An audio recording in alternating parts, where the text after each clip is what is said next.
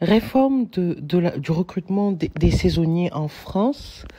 Pourquoi? Parce que euh, c'est aujourd'hui, selon moi, l'un des secteurs les plus problématiques euh, de l'administration française et de l'administration consulaire en France. Déjà, il est connu que, que, que, hum, les, euh, que finalement les, les cultures françaises sont assurées par les étrangers. En tout cas, dans certaines régions, aujourd'hui, la main-d'œuvre euh, dans, les, dans, les, dans les structures agricoles en France est une main-d'œuvre étrangère. Elle peut être alors une main-d'œuvre des pays de l'Est, mais surtout une main-d'œuvre maghrébine, particulièrement le Maroc, la Tunisie, alors certains autres pays et euh, l'Algérie. Je connais bien entendu plus précisément le Maroc et la Tunisie.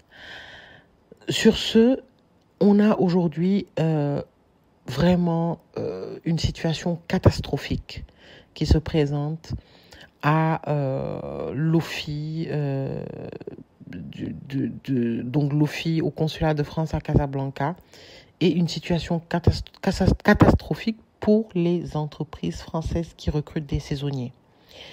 Tout d'abord, dans la procédure est requise l'autorisation de travail. C'est euh, une démarche qui est menée par l'employeur visant à pouvoir introduire de la main-d'œuvre étrangère, donc saisonnière. Cette procédure-là est encadrée par le Code du travail euh, et par le Code d'entrée de séjour, particulièrement en tout cas par le Code du travail.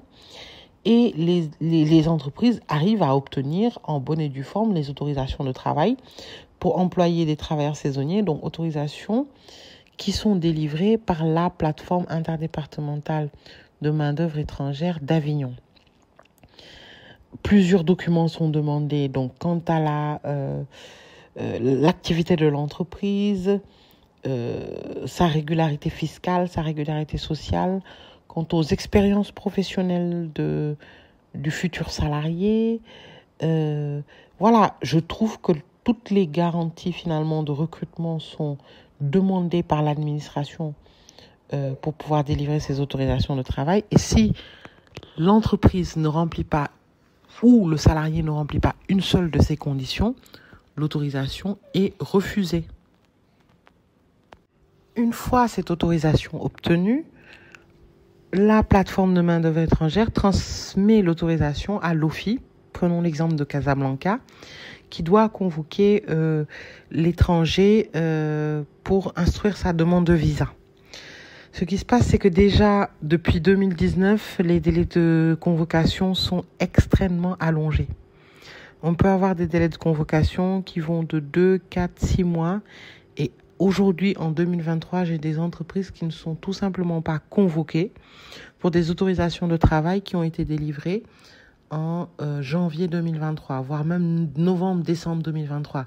Donc 12 mois d'attente pour un recrutement qui devait être fait euh, au mois de juin.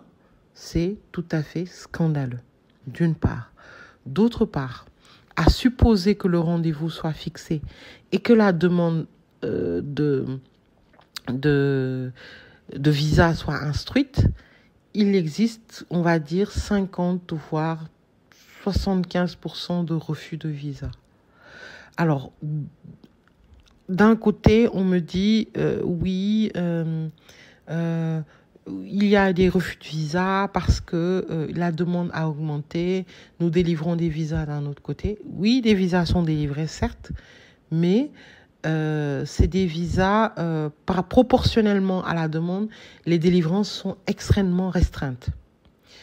Aujourd'hui, des entreprises qui sont en très très grande pénurie de main-d'œuvre sont obligées de déposer le bilan Vraiment, j'en ai l'expérience. J'ai des clientes entreprises qui aujourd'hui déposent le bilan ou qui sont en redressement judiciaire parce qu'ils ont des refus de visa pour recruter des saisonniers. C'est des entreprises soit prestataires de services agricoles, soit euh, agriculteurs euh, eux-mêmes qui n'ont pas de main d'œuvre.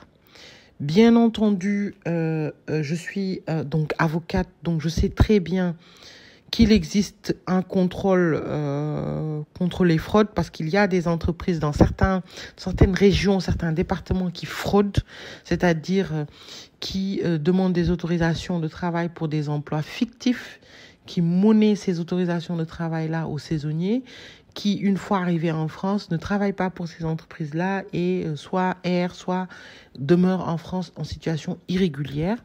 Parce qu'un travailleur saisonnier est supposé avoir sa résidence principale hors de France. Même s'il a un titre de séjour de trois ans, il ne peut pas rester plus de six mois sur le territoire français. Donc ça, c'est une réalité qui existe.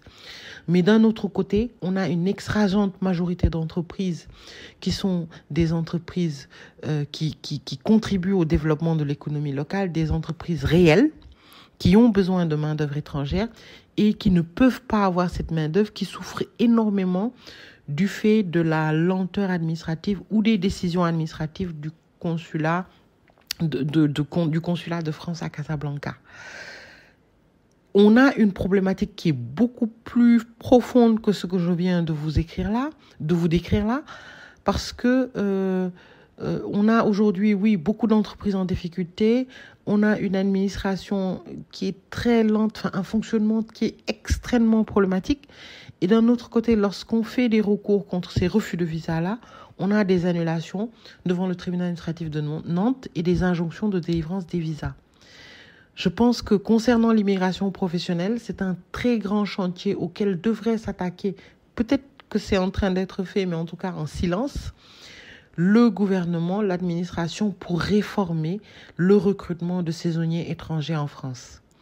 Je pense très fortement à la création de de recrutement en France pour les saisonniers, c'est-à-dire soit une administration, soit un syndicat, enfin je ne sais pas, mais une structure qui serait en charge de centraliser les besoins de main-d'œuvre étrangère des entreprises françaises, qui serait en charge de vérifier la viabilité économique de ces entreprises et la réalité du recrutement, d'une part, et d'autre part, au niveau de l'OFI de Casablanca, la centralisation des candidatures.